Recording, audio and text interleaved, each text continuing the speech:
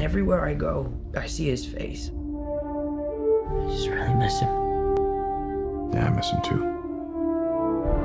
I don't think Tony would have done what he did if he didn't know that you were going to be here after he was gone.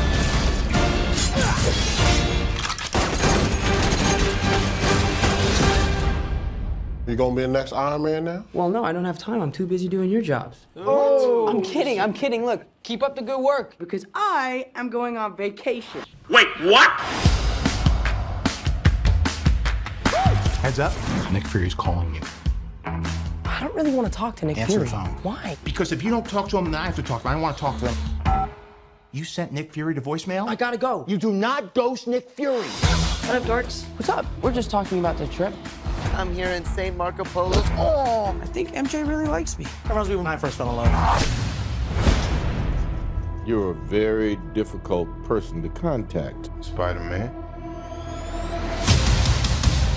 This is Mr. Beck.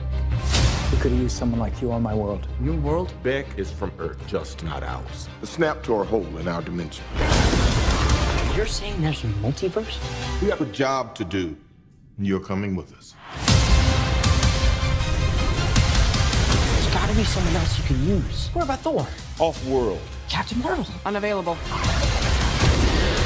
But I'm just a friendly neighborhood Spider-Man. Bitch, please, you've been to space. What do you want, Peter? I want to go back on my trip with the girl who I really like and tell her how I feel. MJ, I am Spider-Man. No, of course I'm not. I mean, it's kind of obvious. You're right, you may not be ready, but this is my responsibility. Saving the world requires sacrifice. Sometimes people die.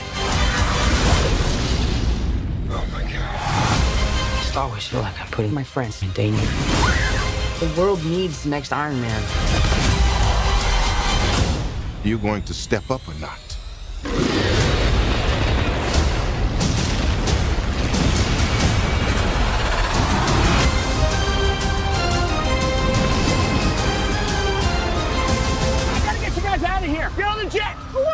I work with Spider-Man. You work for Spider-Man? I work with Spider-Man, not for Spider-Man.